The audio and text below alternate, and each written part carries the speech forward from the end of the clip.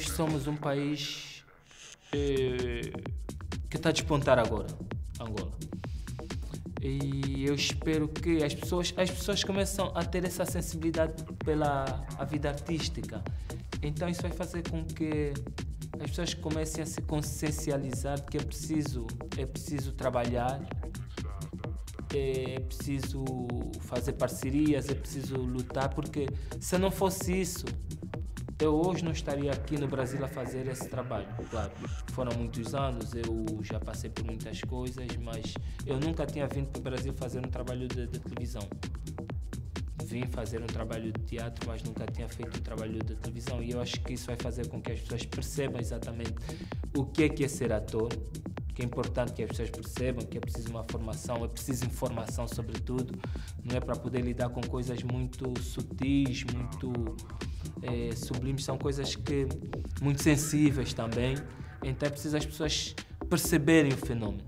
O mais importante é nós conhecer com que coisa que nós estamos a lidar, porque se não tivermos essa essa ligação, esse conhecimento, nós não conseguimos trabalhar com arte. É muito complicado trabalhar com arte quando nós, nós não sabemos com o que é que estamos a lidar. É muito complicado.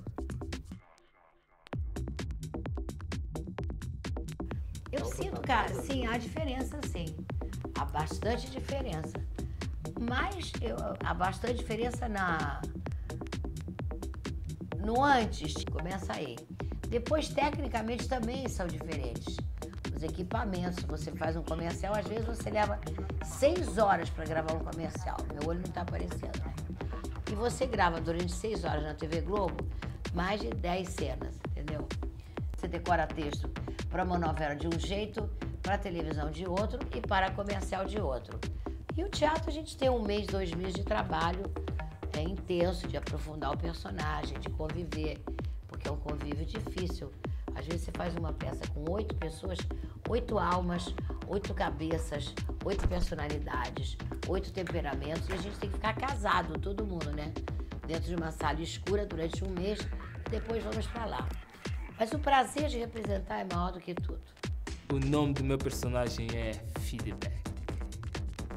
Feedback, ligação, contato, estar junto. Essa personagem é uma personagem cômica, assim, meio extravagante. É uma personagem alegre, sobretudo, transmite assim uma alegria, uma forma de viver, deixa a vida me levar, como vocês diriam. Então, é uma personagem que tem tudo a ver com mais ou menos a minha pessoa, porque eu acho que eu sou uma pessoa muito alegre. Então, eu acho que é uma, uma personagem bonita, bonita, bonita. Bom, ela foi uma personagem criada no teatro, mas em, ter, em determinado momento passou a ser uma personagem de televisão, porque depois criou-se é, um, um programa, mais ou menos um programa, em que ela age Portanto, ela deixou de ser um personagem só de teatro para ser um personagem eh, vivo de televisão. Então, ela é uma personagem que vive. Eu acho que eu vivo mais a personagem atualmente do que a minha vida pessoal, porque as pessoas me conhecem mais como a personagem do que como David Enoch que eu sou, como pessoa. Hoje em dia eu vou. Ah, você é o fulano. O fulano não o David Enoch, mas o fulano a tal, a tal personagem que eu acho que ela é mais viva do que eu atualmente. Ela, ela, ela passou a, a minha identidade, ela tomou, como vocês diriam, a minha identidade. A personagem é mais viva do que eu.